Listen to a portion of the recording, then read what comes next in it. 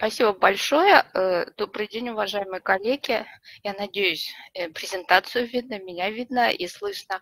И если со связью все хорошо, то тогда начнем сегодняшнюю нашу встречу. Поговорим о создании виртуальных музеев и виртуальных экспозиций Ой, извините, в сети интернет. Сразу оговорюсь, что э, будем говорить мы не о Вебинар скорее будет предназначен не музейным работникам, а больше для работников библиотек и школ для создания мини-музеев, так называемый музей на общественных началах, либо вообще виртуальный музей, который только существует в сети интернет. Вот о таких экспозициях мы сегодня и поговорим.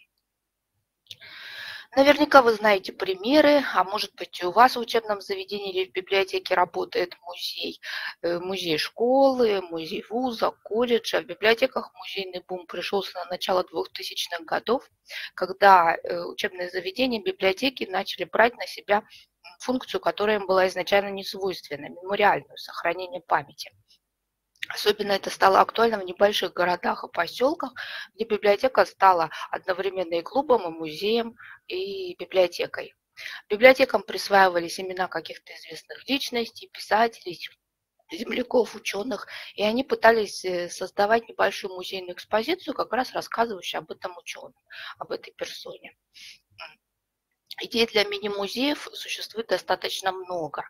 Существует большое количество литературы, где рассказывается о том, как создавать музей на общественных началах, как собирать экспонаты, как их представлять в коллекциях и тому подобное.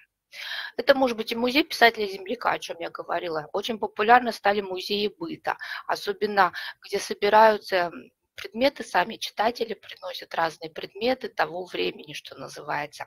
То есть какие-то советские приспособления, а может быть вообще не, не только советские, может быть какие-нибудь там послереволюционные, дореволюционные интересные предметы, которые хранятся в домашних там, архивах где-то.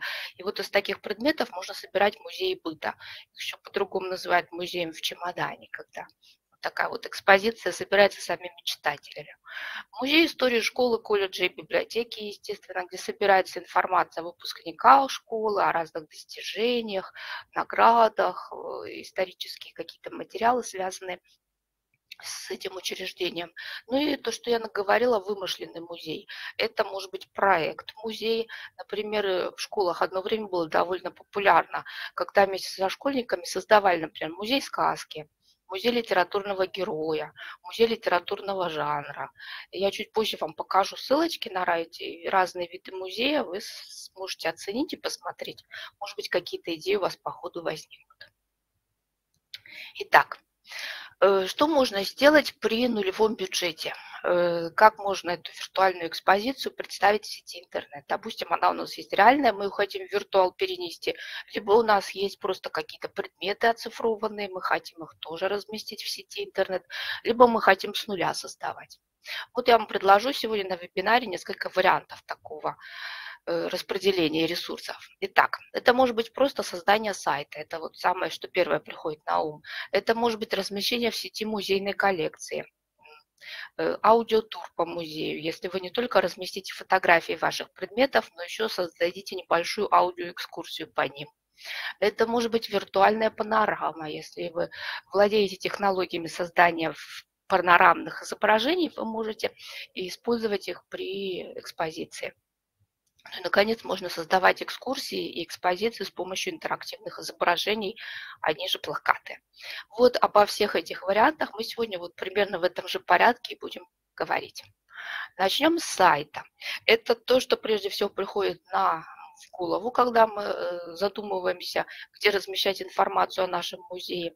Сайты, э, конструкторы для создания сайтов самые разнообразные. Я несколько самых популярных попыталась проанализировать с точки зрения музеев. Поискала примеры в сети, посмотрела на шаблоны, которые существуют именно для создания музеев с этой точки зрения. В общем, если у вас есть какие-то дополнения по поводу сайта строения, может быть, вы сами что-то делали уже на каком-то конструкторе, то, пожалуйста, добро пожаловать в комментарии, что называется. Ну, поедем. Итак, Джемдо. Как они себя позиционируют. Этот э, ресурс, эта платформа подходит и неопытным пользователям, и более продвинутым. Здесь есть несколько вариантов создания сайта. Э, первый такой полуавтоматический, когда вам предлагается ответить на несколько вопросов, и вам конструктор предложит сразу несколько шаблонов под ваши цели и задачи. Либо можем попробовать с нуля, и вот с точки зрения музея строения мне больше понравилась здесь коллекция шаблонов для блога. Почему-то вот на плато, а, во-первых, коллекция достаточно большая, во-вторых, у нее возможностей намного больше, чем для сайтов. Поэтому, если вдруг захотите, то обратите внимание прежде всего на коллекцию блогов. Э, сразу видим, что интерфейс здесь не на русском языке, поэтому либо Google переводчик, либо для знатоков языка, что называется. Зато мы можем посмотреть на разные варианты что можно добавить. Я вам сразу скопом целую массу ссылок отправила в чат, разные музеи, созданные на этой платформе. Можете пока переходить по ссылкам, посмотреть, как это на деле реализуется в реальности. А я вам покажу список элементов, которые можно добавить на сайт. Вообще все платформы, о которых я буду сегодня говорить, работают по принципу визуального редактора. То есть мы сразу видим, какие блоки мы добавляем визуально. И добавление здесь очень простое. Нажимаем на значок с плюсиком, открывается список блоков, мы из этого блока выбираем подходящий для нас и его редактируем. Вот по такому порядку, в принципе, все эти конструкторы работают. Итак, Видим, что список здесь достаточно большой. Более 16 шаблонов здесь предлагается для работы можно встраивать туда объекты по коду, создавать фотогалереи, э, видеоролики, например, с YouTube размещать, отдельные фотографии, тексты в разных видах и колонками, и обычные э, контенты соцсетей. Может быть, это не так э, сейчас нужно, но тем не менее раз, интеграция с Google формами и Google картами есть, то есть можно карты добавлять, ну и плюс разные дополнительные вот весь списочек у меня на экране, это даже не все плагины, которые можно сюда добавить. В общем, хорошая интеграция, сервис, э, платформа неплохая. После регистрации получаем домен третьего уровня. Вообще для всех этих платформ, в случае, если вы работаете по бесплатному тарифу, дается именно домен третьего уровня. То есть сайт будет оканчиваться на gmdo.com.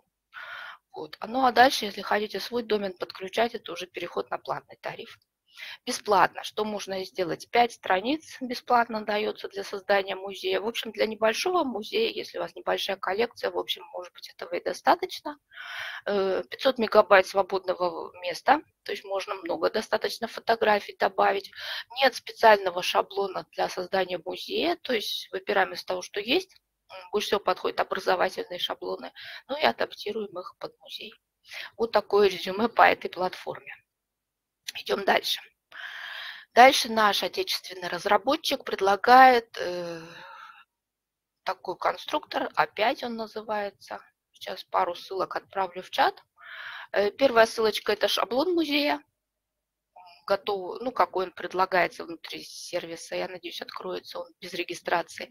И музей истории покорения неба – это вот примерно музей, созданный на этой платформе. Но поскольку русскоязычный разработчик, сразу ставим в плюс наличие русского языка. Неплохой интерфейс, здесь достаточно все неплохо устроено. Конструктор тоже визуальный, то есть через плюсик добавляем новые блоки и организуем их в нужном порядке. Ну, смотрим, что сюда можно добавить. Во-первых, начнем с коллекции шаблонов. Более 300 шаблонов самых разных, 11 тематик. Именно музейный шаблон здесь один, но, в общем-то, можно любой адаптировать, если очень сильно захотите. Хорошее цветовое решение, хорошая верстка. В общем, с точки зрения такого визуала, в общем, все очень неплохо. Э, можно создавать на основе шаблона, можно с чистого листа создавать. Здесь есть база встраиваемых элементов, более 10 тысяч самых разных. По коду можно добавлять встраиваемые элементы Google карты, э, видео с YouTube, галереи, видео, фото и многое-многое другое неограниченное количество страниц. Это большой плюс. Теперь минус. Бесплатно выделяется очень немного места, 150 мегабайт. Я понимаю, конечно, что можно оптимизировать картинки, но в условиях, если вы а, располагаете большой коллекцией фотоматериалов, допустим, там целые фотогалереи, архивы, вы хотите оцифровать, этот вариант э, не очень хорошо подходит, либо надо бесплатный вариант выбирать. Для небольших сайтов, визиток, где главное упор на информацию и меньше упор на картинки. Вот я бы такой вывод из всего этого сделала. Плюс еще в бесплатном варианте может мелькать реклама. Это тоже немножко отталкивает. Э, давайте еще посмотрим варианты. Fix. Но это очень известный сервис. Я думаю, э, все слышали о нем, а если не слышали, то видели наверняка. Парочка ссылок, как всегда, в чат пойдет. Он немножко изменил интерфейс. У меня был здесь старый скриншот. Вчера проверила, немножко все поменялось. Стало вот в таком духе. Раньше было повеселее, синенькое. Сейчас черно-белая гамма в оформлении. Ну, в общем, список всех элементов выведен у меня на экране. Это условно-бесплатный тоже конструктор сайтов, более 500, 500 шаблонов. Есть э, специальные шаблоны для создания арт-галереи, художественной галереи для музея. Ссылочку вам не смогу дать, потому что она без регистрации у вас не откроется. Я вам покажу на отдельном слайде, как выглядит шаблон для музея. Итак, ориентируются создатели сервиса на нулевого, что называется, пользователя, у которого не было истории создания сайтов. Интерфейс переведен на русский язык, с этим все хорошо. Удобный, красивый визуальный редактор. Здесь э, хороший дизайн, очень хорошо все продумано. Э, кроме обычных элементов фототекста в галерее, здесь можно добавлять видео, видео с аудио, можно организовать блог, если вы какими-то новостями из истории музея хотите делиться. Ну, как на всех платформах онлайн-связь есть. И еще несколько дополнительных опций для оформления, например, изображений с помощью параллакса, анимации, наложения прочих-прочих эффектов. Э, хороший, хорошая платформа в бесплатном бесплатном тарифе дается 500 мегабайт свободного места, это хорошо. Правда, наверху будет полосочка с рекламой сайта. Но мне кажется, это не очень критично, поэтому можно закрыть на это глаза.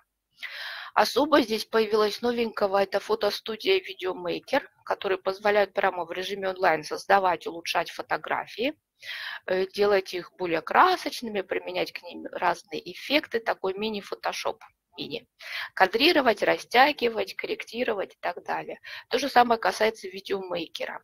Э, для создания небольших видеороликов прямо в режиме онлайн, ну, слайд-шоу, по сути, которое вы размещаете на своем сайте. Вот такие неплохие возможности здесь есть.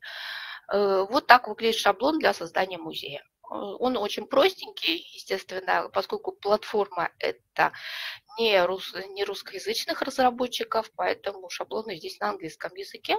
Но все, что нужно для музея, здесь присутствует. Можно добавлять свои страницы, свои вкладки, редактировать этот шаблон так, как мы считаем нужным. В общем и целом, неплохая платформа для создания самых разных сайтов. И здесь примеры действительно очень разного всего, что можно с ее помощью создать. Google сайт. Ну, это вариант, конечно, для, на тот случай, если э, с бюджетом совсем нет, что называется, и когда нужно бесплатно и без ограничений. Google сайт позволяет создавать сайты без ограничения э, пространства дискового, которое предоставляется. Э, оно, эта платформа хорошо интегрируется с Google диском, то есть вы можете документы, презентации, различные э, другие формы, все, что у вас на Google диске есть, сюда на сайт переносить буквально в один клик. Сейчас мы видим шаблоны на экране, их достаточно мало, сразу скажу. Их можно, конечно же, модифицировать, но предыдущим инструментам они в этом смысле уступают. Google сайт берет другим, он берет функциональностью, он берет э, бесплатностью, естественно, практически неограниченными возможностями и наличием опции «Совместная работа». Поэтому очень хорошо Google сайты подходят для создания проектов музеев со школьниками, с учащимися, с с пользователем библиотеки, с кем угодно. Естественно, для работы нужен Google аккаунт как вам, так и вашим соавторам. Итак, ну, допустим, это вот скриншот с моего тестового сайта. Что можно создать? Здесь все в режиме одного окна. Тоже визуальный редактор, он немножко иначе выглядит, чем на других сайтах. Ну, в общем, все понятно. Вставка позволяет э, вставлять разные элементы, текстовые поля, изображений, встраиваемые объекты по коду. Вот как раз список всех элементов у меня сейчас с правой стороны. То есть мы видим здесь и видео с YouTube, и документы, и презентации, таблицы, и формы диаграммы. Все из Google диска добавляется. Либо можно загружать с компьютера и добавлять по ссылке или по коду, если это встраиваемый объект. Вкладка страницы позволяет создавать новые страницы сайта, ну и вкладка темы позволяет изменить тему самого сайта. Э, изменить шаблон, выбрать новую тему оформления и шрифты. Всего тем оформления 6, здесь их не очень много, поэтому особо визуальной красоты тут, может быть, и не присутствует, зато все очень просто и понятно. Для начинающих пользователей, если вы, допустим, работаете со школьниками, это хороший вариант. Опция совместной работы в красной рамке наверху через кнопочку с человечком и значком плюс позволяет добавлять соавторов. Им предоставляют функции редакторов, они так же, как и вы, могут изменять менять дизайн оформления, вставлять новые блоки, элементы. В общем, как обычные редакторы работают. Здесь появилось много интересных макетов новых. Вот я открыла несколько макетов с картинками, например, фотогалерея. Если у нас э, визуальная составляющая, если мы хотим фотоматериалы оцифрованные представить, вот можно в разных вариантах это сделать. Это хорошо. Раньше этого не было, то есть сервис все-таки развивается. Несмотря ни на что, здесь что-то новенькое появляется, можно найти. Э, давайте посмотрим еще что-нибудь. Ну вот покрупнее то же самое вывела еще раз, чтобы было видно, что здесь присутствуют кнопки, формы, презентации, диаграммы и многое-многое другое. Добрались мы до тильды. Сейчас я отправлю несколько ссылочек на эту платформу. Ну, редкий обзор сайтов обходится без, без нее. Это опять э, русскоязычный разработчик наш российский. Э, выдается здесь, есть бесплатный тариф. Э, первые две недели можно пользоваться всем функционалом. Если вы впервые зарегистрированы, через две недели автоматический перевод на бесплатный тариф. Бесплатно предоставляется создание 50 страниц. Вы можете их объединить в один сайт и таким образом вот такой музейчик создать на 50 страницах. В общем, это неплохо. Правда, дискового пространства здесь дают немного, 150 мегабайт. Вот я не знаю, честно говоря, как это на 50 страницах можно уместиться в такой ограниченный формат. Ну, каким-то образом можно оптимизировать картинки, вероятно, э, можно если очень захочется. Я вам ссылочки добавила на разные музеи. Последняя ссылка музей, которого нет. Интересный вариант тоже. Ну и шаблончик музея, как он выглядит на тильде. Э, тильда ориентирована на визуальное восприятие, она очень красивая, здесь много красивых визуальных блоков. Я советую, если вы с тильдой знакомитесь, зайти в раздел, который называется «Создано на тильде». Там вы найдете очень много готовых сайтов, э, которые очень красивые, безумно красивые, с оригинальной анимацией, которые действительно приковывают внимание, можно вдохновиться. Естественно, это все будет немножко сложнее, чем по шаблону работать, но если очень захочется, то можно освоиться. Здесь есть хорошая справочная база, здесь есть видеоуроки, можно на все вопросы найти ответы. Итак, что умеет этот визуальный редактор? Э, может добавлять различные блоки. Списочек сейчас у меня с левой стороны на слайде.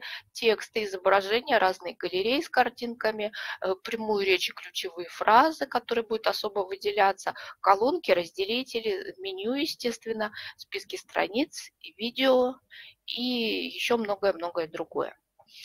Э, чего нельзя сделать в бесплатном тарифе? К сожалению, здесь нельзя по коду добавить встраиваемый объект. Если у вас презентация какая-нибудь, лента времени, интерактивный плакат, то, к сожалению, по коду вы ее вставить не сможете, только через ссылку. То есть как это делается? Делаете скриншот вашей работы, вставляете его как картинку, а к этой картинке привязываете, например, ссылку. И открываться будет уже на самом сервисе это все. Ну, вот такой немножко сложный путь, но издержки бесплатного тарифа. Подписка на месяц стоит 750 рублей. Можно попробовать платные функции, посмотреть первые две недели. Если понравится, можно продлить. Если нет, то работать дальше в бесплатном тарифе.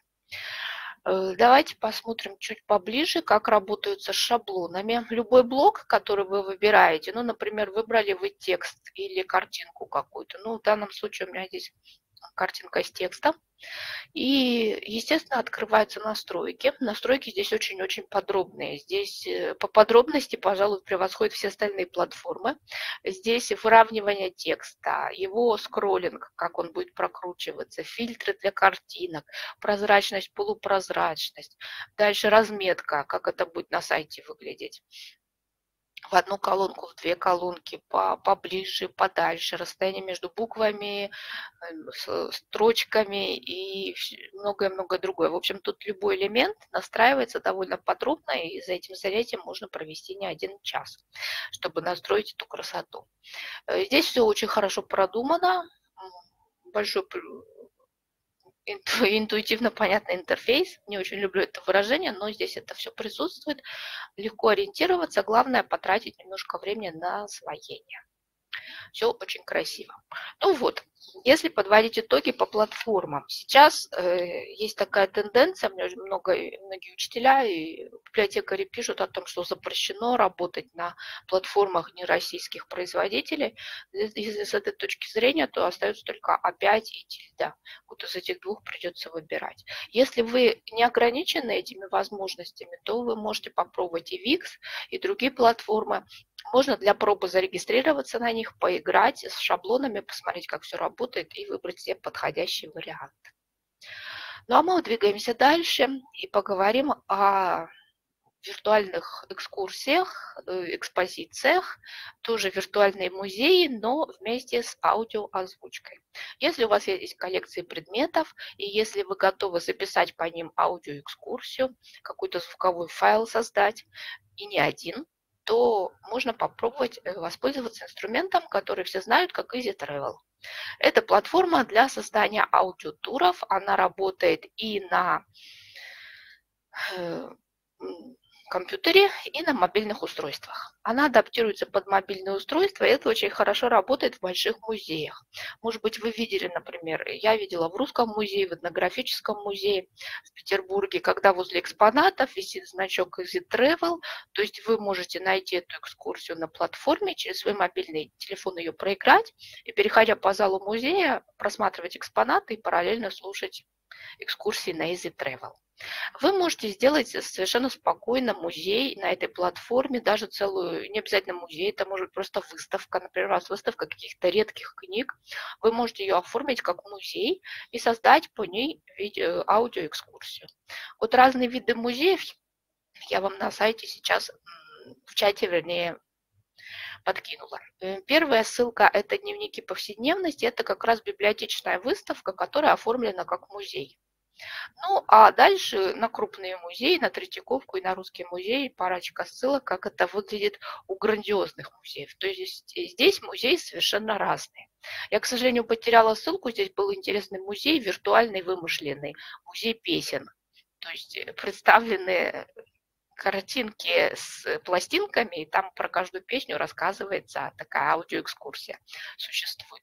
Не нашла по поиску, к сожалению, то ли он удалился, то ли я просто найти не смогла. Но даже вот такие музеи здесь совершенно спокойно присутствуют. Вы можете создать музей своей организации здесь, вы можете создать выставку как музей, вы можете просто свою частную коллекцию здесь создать, если у вас есть какие-то редкие экспонаты. Единственное, что необходимо, это заранее записать аудиофайлы, которые вы будете прикреплять к вашим изображениям. Ну, давайте посмотрим, как это все работает. Итак, выбираем опцию «Музей». Вам предложат уличный квест, э, вам предложат уличный тур, вам предложат квест и музей. Выбираем в данном случае опцию «Музей». Открывается окошко для его редактирования. Что у нас в, в окошке для редактирования? Итак, мы загружаем картинку. Можно э, одну, можно несколько картинок. Э, далее Даем его название, описание. Внутрь описания можно добавить гиперссылку. Если у вас есть какие-то группы ВКонтакте, допустим, у этого музея, какой-то телеграм-канал может быть, то, пожалуйста, сюда можно все это добавить. Это будет информация, это будет описание. Э, его увидит пользователь, когда кликнут по вашему музею. Это будет первое, что они увидят. Название, описание и картинка стартовая. Далее, э, вверху есть горизонтальная панель и сбоку есть вертикальная. Ну, пойдем с горизонтальной. В разделе «Расположение» и «План музея», ну, в разделе «Расположение» вы адрес, если это реальный музей, можете написать там, разместить план музея. Если у вас есть какая-то картинка с планом, вы можете ее сюда загрузить.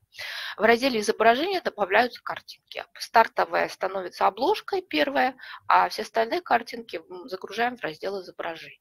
Отдельные опции идут ссылки. Можно добавить и в описание ссылки, и в отдельную вкладку ссылки. QR-код, он создается автоматически к вашему сайту. Ну и кнопка «Удалить музей» удаляет экспозицию, если она вам уже не нужна.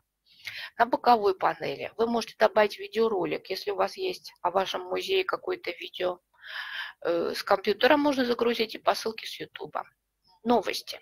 Хорошая опция, если у вас в музее происходит что-то необычное. Новость будет появляться рядом с описанием музея, ее пользователи тоже сразу увидят.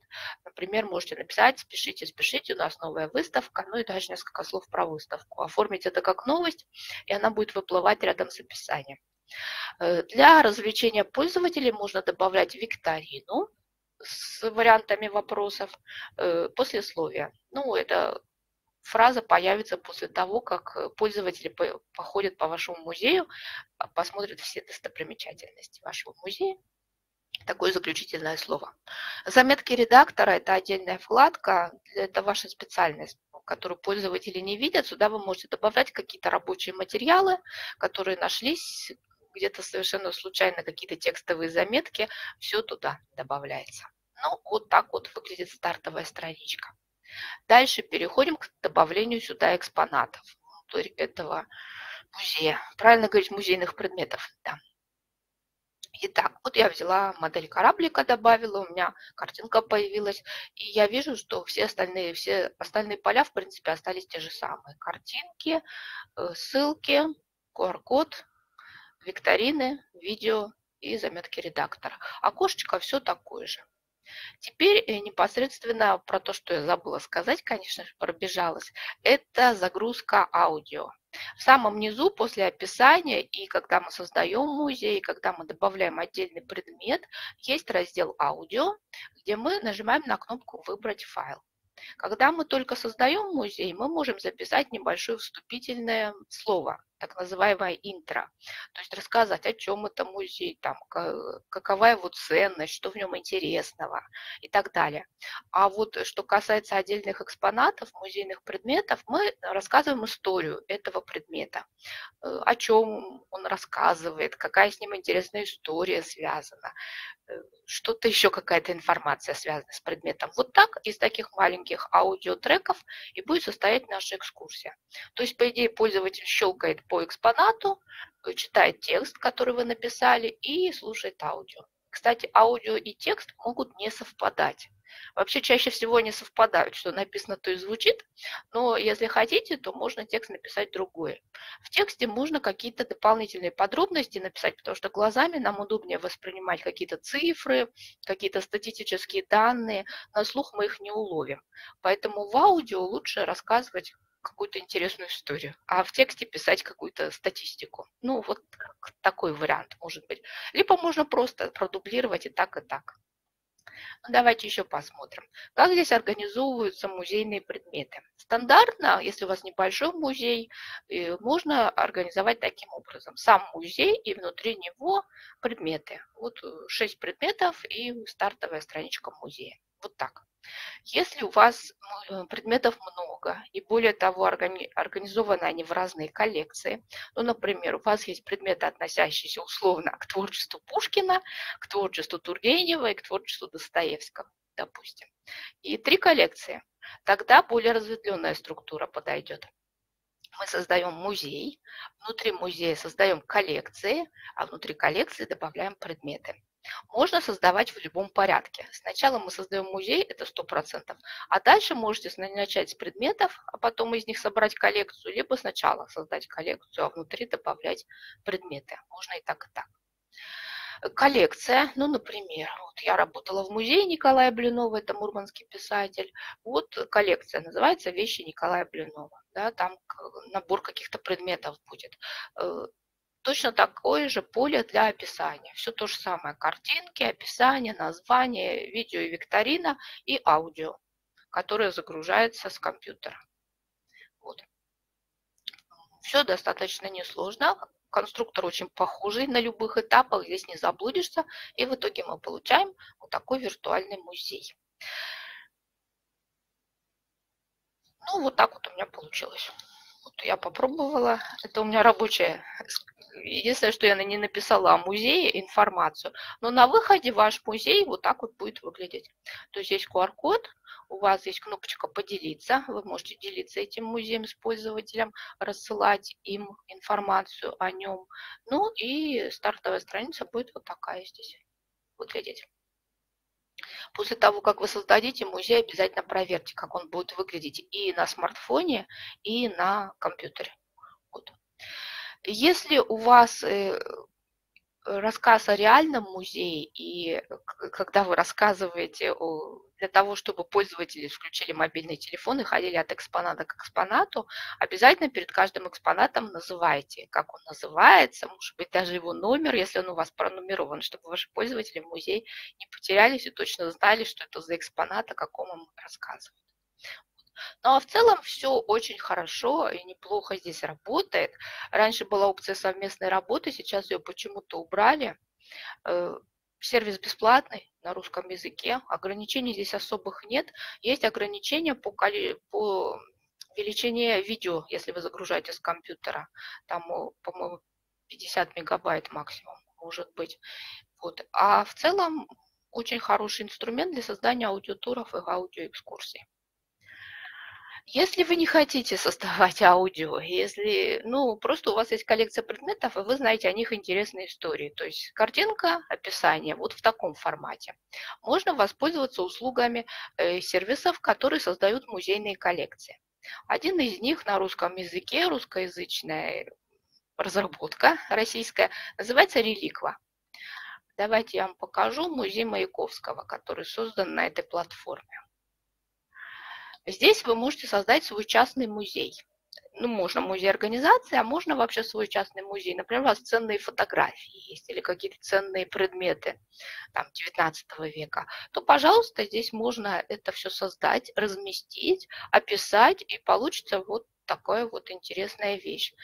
Э, Стартовая страничка выглядит примерно так. У вас, может быть, немножко иначе по ссылке будет, потому что у меня скриншот был сделан раньше но это очень хороший инструмент, мне очень понравился. Давайте я вам покажу, как в нем работается. Итак, заходим, регистрируемся. Регистрация есть через контакт, но почему-то она не работает, поэтому я по старинке по электронной почве, почте. Э, ничего оформлять не надо. Музей здесь создаст чисто автоматически, вы просто можете потом придумать его название. Автоматом он будет называться по вашей фамилии и имени, потом переименую, можно переименовать так, как считаете нужным. Итак, как здесь загружаются предметы музейные? Э, название, описание, стандартные поля, фотографии. Э, можно одну, можно больше с разных сторон. Выбираем категорию. Открывается список, вы можете из категории выбрать, что это там книга, фотография, предмет и так далее. Дальше датировка. Здесь все очень серьезно по музейным ром, э, музейным требованиям, то есть когда датирован предмет, век, год, э, число, день, месяц, как угодно. Например, фотография у вас снята в 1920 году, вот в датировке мы это выставляем. Дальше указываем место, где снято, допустим, там Мурманск, таких-то годов, люди, которые на фотографии представлены. То есть здесь э, такой более музейный подход, я бы сказала. Э, самые распространенные музейные поля заполняются. И нажимаем на кнопочку «Создать» появляется у нас первый наш музейный предмет. Вот так он будет выглядеть. Я все тот же мой музей Блинова взяла для того, чтобы на нем тренироваться. Вот такой парусник у нас был в коллекции. Я придумала свою категорию, э, дату и время, когда был сделан, ну и люди, к которым относится этот памятник, э, этот предмет. Так это выглядит. На этом сайте можно организовать коллекции. Коллекция – это инструмент, который позволяет создавать э, ну вот на YouTube мы создаем плейлисты, вот здесь примерно коллекции. То есть вы можете организовать в эту коллекцию не только свои предметы внизу есть для этого кнопочка «Добавить в коллекцию», но вообще любые предметы, которые вы на сайте здесь найдете. Например, вы коллекционируете какие-то редкие открытки, и вот вы на этом сайте нашли реликву очень редкую, которую очень хотите в свою коллекцию добавить. Пожалуйста, внизу под каждой под каждой вещью есть кнопка «Добавить в коллекцию», и вы можете ее к себе, что называется, в плейлист добавить. Вот. Таким образом, можно создавать коллекции на основе своих предметов и на основе предметов других пользователей. Самое интересное, что предлагает реликва, это так называемые расследования. Что это такое? Это вопрос, связанный с вашей реликвией, который, на который вам бы хотелось получить ответ. Может быть, кто-то из пользователей знает об этом. Ну, например, у вас есть старая игрушка, и вам интересно, кто ее производил, э, когда она бытовала, что называется, там, как ее использовали и так далее. Вот. Или у вас на фотографии какой-то человек, и вы хотите узнать, кто это какое-то необычное здание, и вы хотите узнать, а что это за здание такое. В этом случае вы заводите расследование. Под вашей реликвией будет кнопочка расследования, и вы можете там задать вопрос об этой реликвии и отправить. И тогда пользователи, э, которые работают на этом сайте, увидят ваш вопрос и, может быть, дадут вам ответ помогут вам. Точно так же вы можете, э, заходя на сайт, смотреть, какие ведутся расследования. Если вы знаете ответ на какой-то вопрос, вы можете поучаствовать, что называется, в этом расследовании. Вот такая интересная конструктор, такой интересный все, падежи путаю сегодня. Такой интересный конструктор, одновременно еще и социальная сеть. То есть, по сути, вы еще и с пользователями здесь пообщаетесь, если захотите. Вот. Э, работа здесь достаточно активная ведется, несмотря на то, что он малоизвестный такой сайт. Не успела я вот этот вот парусник загрузить. Буквально мне через день уже написали там комментарий под этим парусником. Под реликвиями можно писать комментарии, как в социальных сетях под картинками. Вот, хотя я вообще только тренировалась, я еще никакого музея там не создавала, просто вот красивую картинку загрузила, и мне тут же прилетел комментарий. Так что сервис достаточно хорошо работает, стабильно. Можно использовать и для себя, и для проектов, я думаю, ну и вообще для работы, может быть, пригодится. Давайте дальше пойдем. Виртуальные панорамы – это отдельный вид искусства. Наверняка вы их видели, пользовались. Фотографии, которые имеют большой угол обзора. То есть э, такие, чаще всего это вам представляется в виде такого вытянутого по горизонтали снимка, полоска. То есть мы можем ее прокручивать, просматривать. И самые, самые крутые виртуальной панорамы это с обзором 360 градусов, где можно не только вокруг посмотреть, но еще вверх и под ноги. Вот таким образом это работает. То есть есть панорамы, которые только по горизонтали, а есть еще и по вертикали, поднимающиеся вверх и вниз. На основе таких виртуальных панорам можно показывать экспозицию реального музея. Например, комната какая-то экспо экспозиционная, какое-то интересное здание изнутри. То есть, когда пользователь может повертеться, поближе все рассмотреть, а может быть еще и дополнительную информацию получить. Давайте посмотрим, как, какие здесь есть варианты. Ну, начнем с того, что 3D-панорама или виртуальная панорама – это достаточно затратное мероприятие. То есть может быть, вы умеете, конечно, это делать. Я, например, не умею, и я использую готовые виртуальные панорамы, которые мне добрые люди дадут, либо я сама каким-то образом найду. есть специальные программы для создания таких панорам. То есть вам нужен цифровой фотоаппарат, где вы делаете несколько снимков, ну, грубо говорю сейчас, и склеиваете их в такую панораму. Либо в один ряд, и тогда будет узкая полоска. Если у вас 360 градусов охват, то тогда в несколько рядов. Я нашла три относительно бесплатных программы для создания панорам. Это ссылочки на них. Если захотите, то можно по ним походить, посмотреть. Они здесь по степени сложности расположены. Image Composite Editor – это программа, созданная Microsoft. Я, правда, не знаю, как сейчас с Microsoft. Мы все знаем, что запрещен, запрещено пользование. Я не скачивала вот в данный момент и не использовала ее. Но на всякий случай в списке оставила. Вдруг работает. Э, здесь все очень просто. Загружаете картинки, немножко их обрезаете и сохраняете вот обычную стандартную такую горизонтальную панораму.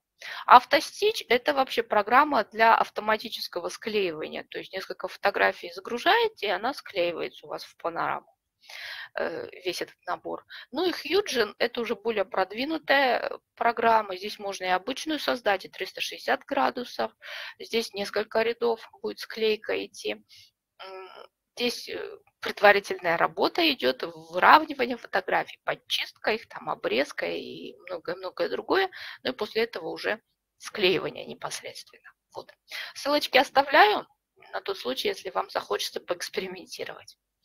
А я вам расскажу о том, если у вас уже есть готовая панорама, и вы хотите с ней что-нибудь сделать. Э, ну, например, есть платформа, начнем с англоязычных, SIGBIG она называется. Это платформа для создания интерактивных виртуальных панорам. Я вам две ссылки на два музея послала. Русский сегмент здесь почти не представлен. Я нашла, к сожалению, только англоязычные версии и сама попыталась э, фотографию загрузить и по ней попробовать поэкспериментировать. Итак, что умеет этот сервис? Загружаем панорамную картинку, а на нее поверх этой картинки добавляем интерактивные метки. Э, щелчком мышки щелкаем, а дальше выбираем один из нескольких элементов, что можно на эту панораму добавить. Ссылку, аудио, если у вас есть э, аудио какой-то гид записанный заранее, картинку, естественно. Можно добавлять э, форму, то есть это какая-то викторинка, может быть, например, или опрос. Ну и встраиваемый объект, он называется embed. Плюс тут еще есть телефонные номера, погода и многое-многое другое. Ну вот основные я вам перечислила. Вы можете несколько панорам загрузить, они здесь будут называться снапами. Одна панорама, один снап. Вот. И вы можете между ними настроить связи. То есть, например, у вас есть несколько залов в вашем музее. Первый зал стартовый, а дальше дверь э, для перехода в следующий зал. Вы на эту дверь ставите э, интерактивную метку, которая называется Snap. Переход в новый зал. Прикрепляете вторую панораму и дальше в этой второй панораме работаете. Все замечательно здесь работает, сервис вообще отличный, очень быстрый, несмотря на то, что это достаточно сложное мероприятие работы с панорамами.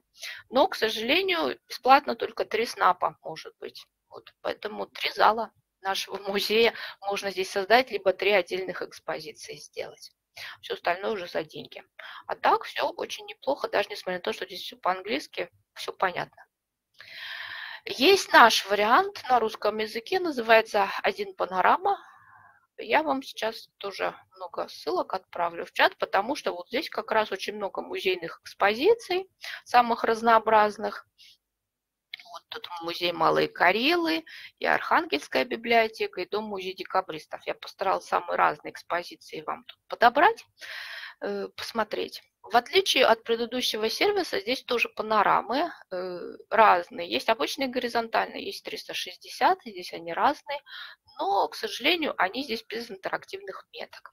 То есть э, мы можем прокручиваться, просматривать и вертеть эту экспозицию так, как считаем нужным, но к этой экспозиции мы можем добавить только описание небольшое и, собственно, саму панораму. Вот на этом и все. Э, сервис пока бесплатный, Загружать здесь без ограничения можно, это российская разработка, поэтому никаких особых здесь э, затруднений, наверное, быть не может. Единственное затруднение, что перед, после того, как вы загрузите что-либо, опишите это, подпишите, э, панорама уходит на предварительную модерацию. Правда, она достаточно быстрая, если все отлично, она появится на сайте, и пользователи могут с ней знакомиться. Если у вас такая минималистичная экспозиция, то есть как, когда экспонаты говорят сами за себя, ничего там особенно интерактивного размещать не нужно, то можно попробовать одну, вот этот сайт, один панорама. И, наконец, мы добрались до плоских картинок. Не забываем, что у нас очень много есть фотографий наших экспозиций и достаточно подробных, и можно на их основе тоже создавать интересные виртуальные туры. Не сказать, что это прямо будет виртуальный музей, но виртуальная экспозиция будет точно. Опять подобрала несколько инструментов, я думаю, вам они знакомы. Первый инструмент называется SyncLink. Э, что касается SyncLink, во-первых, здесь нужно выбирать, э, ну, здесь сразу предложат бесплатный тариф. Правда, он здесь называется троял, триальная версия, что называется. Раньше он просто был бесплатный, а сейчас появилось слово троял. Это меня стало напрягать. Я пыталась сегодня и вчера поискать информацию о том, насколько ограничения там, ну, обычно, когда мы видим триальная версия, это значит, что оно только на месяц, там только на неделю, и потом все отрубается. Я не нашла. Вот, может быть, кто-то знает секрет этого сервиса. В общем, бесплатная трояльная версия. Вот я по ней продолжаю работать. Она у меня, оказывается, подключилась еще три месяца назад, и до сих пор все работает. Не знаю, в чем здесь секрет.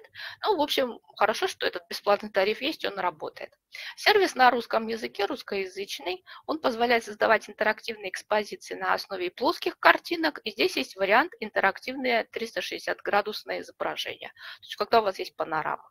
Можно и так, и так. Работа и в том, и в другом э, сервисе, и в том, и в другом инструменте, она достаточно одинаковая. Не отличается практически ничем. Э, мы загружаем картинку, фотографию, добавляем на нее интерактивную метку. Просто по ней щелкаем. Открывается вот такое поле, как у меня сейчас с левой стороны. Записываем название экспоната, его описание, загружаем изображение или видео с YouTube. Можно добавить аудио. Я проверила, да, в бесплатном тарифе аудио тоже работает. Например, у вас есть озвучка к этому экспонату. Ну и сохраняем. Иконку можно изменить. Более того, можно нажать на кнопку Change Layout, поменять изображение, поменять как это, шаблончик, скажем так. И вот информацию об экспонате можно представить не в виде просто окошечка, а вот такого красивого, например, как у меня. Вот если бы я добавила еще описание, то с левой стороны было бы еще описание красивое. Вот такие минималистичные оформительские штучки. Ну и изменить иконку тоже можно, она тоже меняется. Здесь большой набор разных иконок. Ну вот я взяла тут интерактивное, создала такое изображение, добавила иконку. Э, дополнительно в разделе настройки здесь можно подключить анимацию, чтобы иконка пульсировала, поменять ее цветовую схему, э, загрузить фоновую музыку ко всей этой экспозиции то есть э, чтобы пользователи слушали музыку и просматривали вашу фотографию. Ну, еще несколько дополнительных, не таких важных настроек. В разделе «Настройки» нажимаем на кнопку «Готово», и наша экспозиция действительно готова. Все делается в несколько кликов и достаточно просто. То же самое касается интерактивного изображения. Э, я попробовала загрузить панораму и наверх еще добавила несколько картинок. Вот они таким образом у меня отобразились. То есть можно, щелкая по интерактивной панораме, вызывать еще обычные плоские картинки и их просматривать. Все, э, все те же самые кнопки загружается и аудио, и видео, и текстовое описание, естественно. Вот. Неплохой инструмент, можно использовать. Готовые вот эти вот интерактивные вещи можно вставлять на сайты и в блоги, как интерактивные плакаты. Сервис Удоба. Давайте я экспозицию отправлю пока. А, да, про SyncLink добавлю, добавлю вам еще одну ссылку на, 300, на 3D тур. Вот. Или я уже ее добавляла? Нет, не добавляла. Вот. Вот это 3D-тур 360, который сделал. Э, по сервису удобно. Принцип работы здесь такой же. Здесь можно плоскую картинку загрузить и добавить на нее интерактивные метки, а можно загрузить 360-градусную э, панораму и на ней поэкспериментировать. Сразу две ссылки вам добавлю. Первая – это плоская картинка, вторая – это 360 градусов. Здесь не так много музейных экспозиций, э, все-таки удобно больше как учебный ресурс сейчас рассматривается в плане интерактивных музеев и экспозиций. Он не очень задействован, но такая опция есть. Шаблон для плоских картинок называется «Интерактивные области на изображении». Я на отдельном вебинаре по Удопе рассказывала пошагово, как здесь работается. Сейчас только вкратце основную озвучу. Э, загружаем фотографию. Далее фоновое изображение, придумываем заголовок нашего экспозиции, иконку выбираем ее цвет, ну и дальше к этой иконке мы можем добавлять разный вид контента. Контента здесь три вида. Текст, видео и картинка. Текст, видео, имидж. К одной иконке вы можете добавить неограниченное количество контента, то есть и текст, и видео, и картинку, а может быть даже не одну картинку. И вот, вот щелкая по картинке, выбирая место для каждой интерактивной метки, мы вот таким образом насыщаем ее контентом. Потом нажимаем на кнопку «Сохранить», и у нас генерируется готовая наша виртуальная экспозиция. Если у нас 360-градусная панорама, то выбираем шаблон, который называется 360-градусное э, окружение или Virtual Tour 360. Выглядит это вот примерно вот так. То есть у нас фотография, мы по ней будем вертеться, нажимать на кнопки и просматривать информацию. Конструктор здесь уже немножко иначе выглядит. Я просто любую случайную фотографию загрузила и попробовала на ней поэкспериментировать. Вверху панель с инструментами.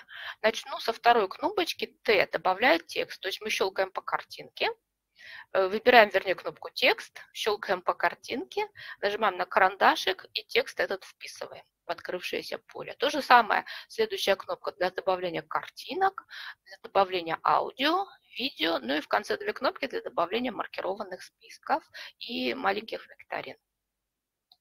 Вот. Э, первая кнопочка со стрелочкой, с такой, с самолетиком, не знаю, как ее назвать, она служит для соединения нескольких вот таких панорамных фотографий в одну линию. Например, у вас есть одна сцена, э, одна экспозиция музея, вы из нее хотите перейти в следующий зал, в следующую экспозицию. Для этого и есть такой вот значок с самолетиком. К нему привязывается ссылка на новую панораму, на новую сцену.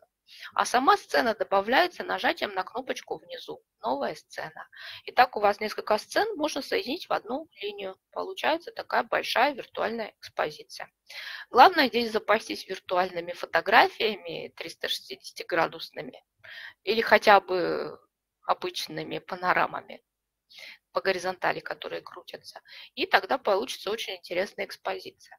Большой плюс сервиса Удоба то, что это российская разработка, то, что он бесплатный и ничем сейчас пока не ограничен. Хотелось бы, чтобы так было и дальше.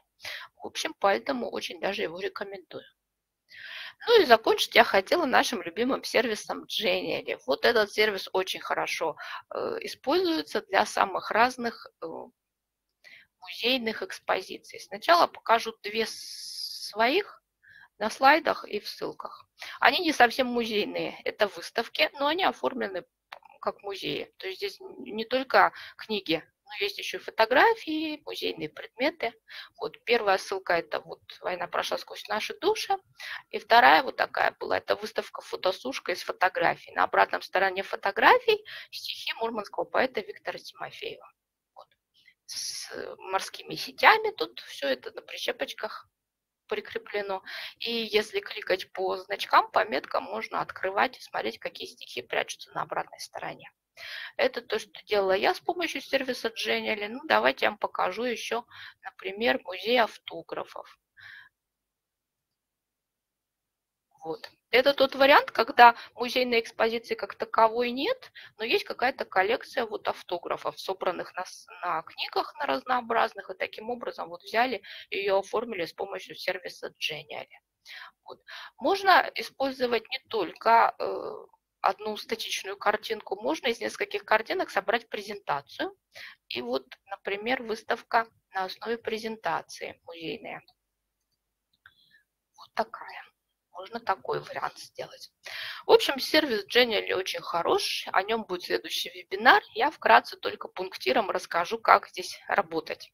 Если вы вдруг захотите экспозицию перенести в виртуал. Итак, э, для, нам для этого понадобится шаблон, который называется Interactive Image. Интерактивный плакат, интерактивное изображение. Если у нас будет презентация, если мы уже запланировали из нескольких слайдов, то можно выбрать э, формат с презентацией. Но я покажу на примере интерактивной картинки. Вот я загрузила мою экспозицию, картинку. Дальше на панели с левой стороны нажимаю на значок интерактивных элементов и добавляю кнопочки поверх этой экспозиции. Кнопки можно увеличить, уменьшить, это не проблема, сделать их помельче. И более того, здесь есть опция, где можно сделать эти кнопки невидимыми.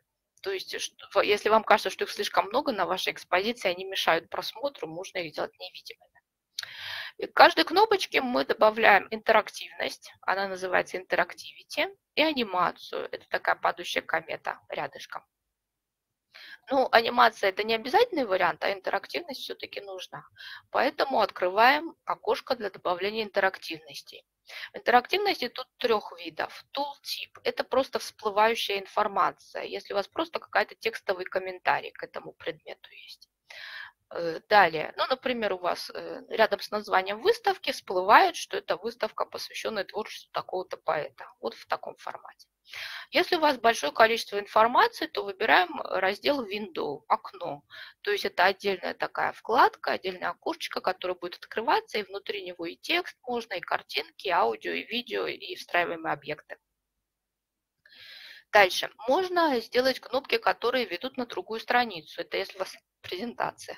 На одном зале, на одном слайде первый зал, на втором другой. Для перехода используем раздел Go to Page, кнопка Go to Page. Ну и, наконец, линк – это ссылка на другой веб-ресурс. Если у вас есть группа ВКонтакте у этого вашего музея, э, какой-то дополнительный веб-ресурс вы хотите показать, например, электронная библиотека, где есть э, оцифрованная версия вот этой редкой книги, то это через кнопку линк добавляется. Ну вот у меня сейчас Windows рабочее окно. Я в красную рамку вынесла, что можно внутрь окошка добавить, кроме текста. Ссылки, картинки, видео и встраиваемый объект. Это последний раздел с косыми скобками. Вот это очень большой плюс, потому что мы можем сюда добавить и ленты времени, и аудиоплеер, и видео. Ну, в общем, любой объект, у которого есть код который опубликован в сети интернет. Как это работает? Нажимаю на эти косые кнопки, открывается HTML-разметка. Я в нужное место в этой разметке вставляю мой встраиваемый объект. Я встраивала плеер. То есть э, прочитывались стихотворение у меня, и мне нужно было запись этого стихотворения сюда встроить. Э, само стихотворение на сервисе удобно было, я его сюда встроила, нажала второй раз на эти косые скобки, и вот, пожалуйста, у меня вот такие плееры сюда вставились. Вот.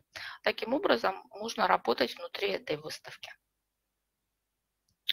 Несколько слов про анимацию. Анимация здесь очень подробная. Вы можете все что угодно делать э, с кнопочками. Они могут у вас мерцать, появляться, исчезать, двигаться, э, всплывать и тому подобное. Выбираем направление анимации, ее скорость и тип. Здесь все довольно подробно. После того, как все это будет готово, и вы это все сохраните, получаете код и ссылку, и можно виртуальную экспозицию пристраивать у себя на странице сайта и блога. Ну, я вам последнюю ссылку сейчас скину. Э, я делала, экспо... Э, фотография была с предметами писателя. Я сделала там невидимые метки. То есть невидимость меток, с одной стороны, это хорошо, но она не загружает картинку. С другой стороны, там надо мышкой двигать по этой картинке и искать эти самые метки. Ну, вот вариант такой. Ну, а более подробно уже про метки, про невидимые метки, про презентации, про инфографику, про многое другое на следующем вебинаре э, в июне месяце. Там я расскажу про Genially уже более подробные. Вот. Если у вас есть какие-то вопросы, я сейчас готова на них ответить. Я пока пользуюсь возможностью, напомню о себе, что я существую в сети интернет, на, в блоге, в группе, в канале Telegram. Сейчас, э, когда уйду в отпуск, будет не так активно все, но забрасывать, конечно же, не буду. Это ссылка на мою группу, но остальное на сайте можно увидеть. Вот, э, спасибо вам большое за внимание. Э, сегодня вопросов не поступало, но я надеюсь, что прослушали вы, по крайней мере, с интересом. Мне бы на это хотелось надеяться. Спасибо вам большое за внимание. Жду на следующем, последнем в этом году вебинаре. Вот э, я уже анонсировала его.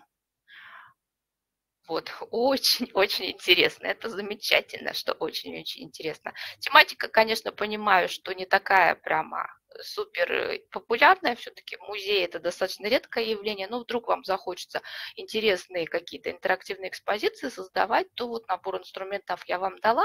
Ссылки внутри презентации, как обычно, запись появится скоро в моей группе ВКонтакте. Я выложу и запись, и саму эту презентацию. Если вы захотите с коллегами поделиться, то найдете ВКонтакте и в Телеграме. Все, на этом прощаюсь. Ой, здорово, что вы находите каждый раз что-то новое, потому что я каждый раз провожу вебинары, думаю, ну, у меня есть постоянные слушатели, я уже вижу по фамилиям, узнаю. Думаю, ну, наверное, им вообще будет неинтересно сегодня слушать, ничего они нового не узнают, но если каждый раз что-то новое находится, это замечательно. Вот, к этому и стремимся. Ну, до следующей встречи через две недели.